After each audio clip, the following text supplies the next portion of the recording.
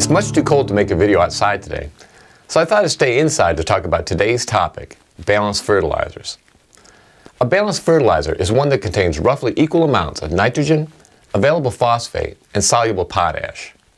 For example, a 10-10-10 fertilizer is balanced because it contains 10% of each. Balanced fertilizers are often recommended as a way to provide sufficient levels of nitrogen, phosphorus, and potassium, and a balance between the three elements. Unfortunately, contrary to their name, balanced fertilizers contain more phosphorus and potassium than plants usually need. This is compounded by the fact that while nitrogen moves through the soil quickly, phosphorus and potassium stay in the soil much longer.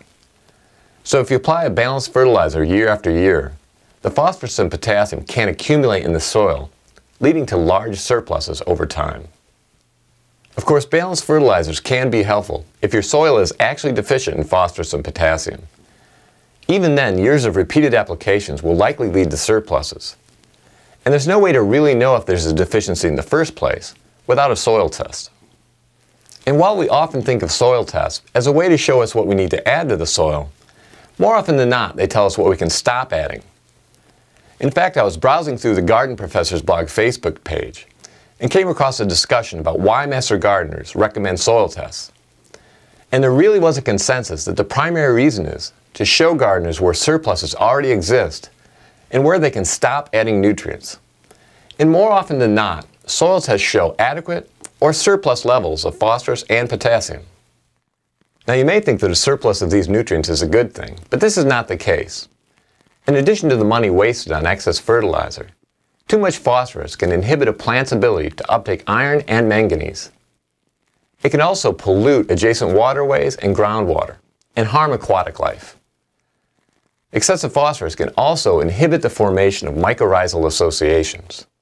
And as a result, plants will have to put more energy into developing their root systems and acquiring nutrients on their own.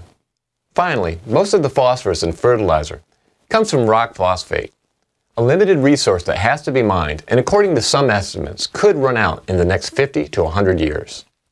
So a balanced fertilizer usually isn't the way to go. As I mentioned earlier, nitrogen moves through the soil more quickly than phosphorus and potassium. As a result, nitrogen is usually in shorter supply.